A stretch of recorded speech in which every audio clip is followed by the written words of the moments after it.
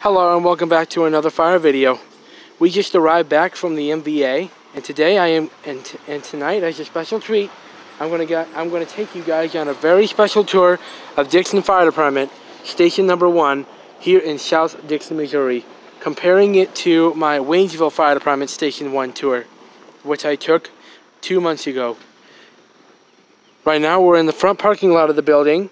The entrance is just over on the other side behind that is the fire hydrant. You guys remember I, I took you guys to this place a couple of times. Now we're going to go on inside and take a look.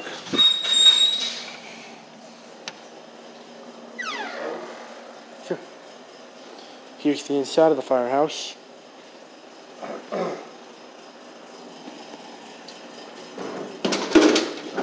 Fifty cents in the slot there. Yep.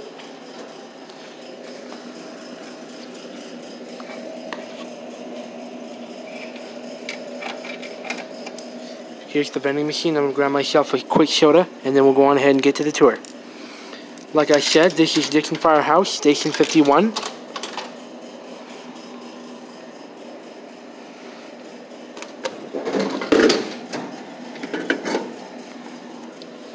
What's that? If you look here, we have the uh, main room area. This is actually a volunteer fire department. It is not career. This is basically used as a classroom area. But this area would be used, um, if it was a career firehouse, it would be used as a uh, dining area or a living room area.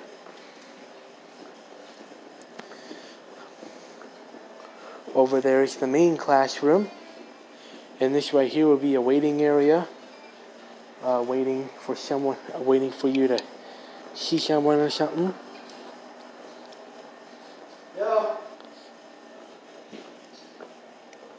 Down this way is where the main entrance is where the main entrance is.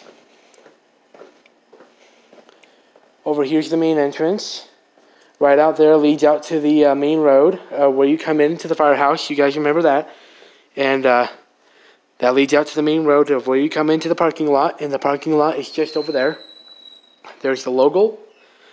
And there's the check-in window. You can see it's not in service, but this is where you would check in or uh, ask a, ask the uh, administrator questions. But this is where the administrator would be. Here's uh, the restrooms. Here's the water fountain. Apparently not hooked up right now. Alright, now we're going to go outside and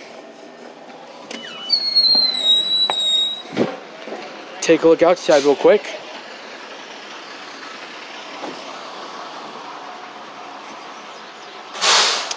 Here's the outside. Right here's Chief, I think you were up to three coats the last count. right here's the parking lot area. There's the shine. You can see the shine there. Dixon Fire Protection District. Engine House 1. Engine House 3 is located on the uh, south side of is located on the north side of Dixon. There's the entrance and there's the road. There's the signage above. Give me a second, guys. I'm gonna put my Pepsi in the truck real quick. Like I said uh, in the first video, we uh, responded direct. We did not respond to the station. We responded direct. Now we're gonna go take a look at the apparatus bay, which is actually a separate building from the house. Oh, never mind.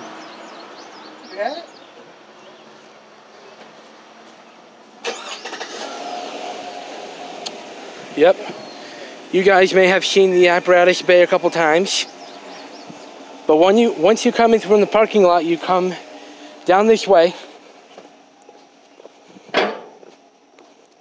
Be sure to watch out for the uh, drain poles. They make a lot of noise when you step on them.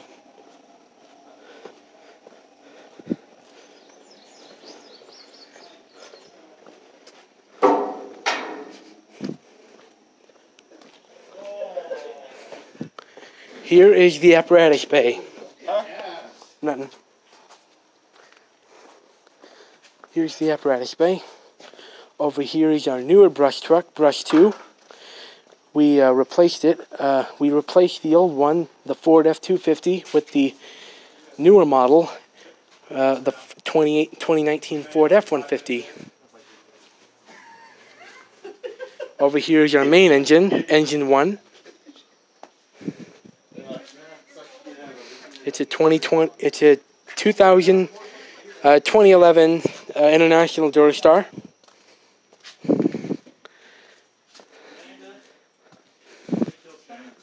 Yep, you can see the engine here. Here's the inside. Pretty nice, pretty nice looking. and here's transport, transport three. We seen this at the scene, if you guys remember. Pretty nice. You guys remember this? We rode in it last year in the MVA, in the motorcycle MVA. Remember, you guys got to see a helicopter land. This is mainly used for traffic control.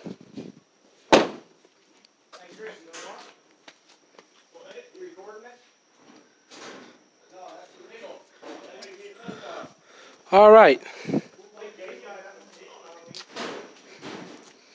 Yep, that's transport three. All right, now we're gonna go have a look in the other bay. This is bay two. Here's how bay one looks from the outside. Like I said, these are three separate buildings. The crew quarters, apparatus AB, AB1 and AB2 are all separate buildings.